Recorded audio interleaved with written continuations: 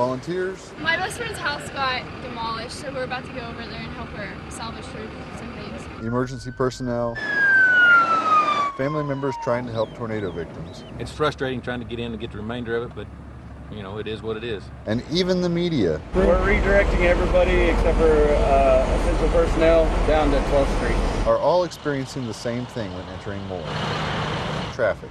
I think we've been sitting here for about an hour At least an hour. That it only took us about 30 minutes so far, and we've been stuck right here. Almost an hour. Don't, don't even get me started. Uh, we had to go through, you know, some back roads. My own drive this morning from the hotel I was staying at in the city of Norman, about nine miles away, took me two and a half hours.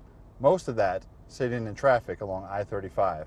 Governor Fallin is urging people to avoid the area if you're not involved in the recovery efforts or cleanup. If you could not come and look yet, it would be helpful for the congestion that we are experiencing on our highways. So if you're heading to Moore to lend a helping hand, Joplin volunteer Truman Yeary offers a little piece of advice. Patience. I mean, the traffic conditions are bad, but it's not anything compared to losing your house, losing your child, or losing everything you have. In Moore, Lee Carter, 2 News works for you.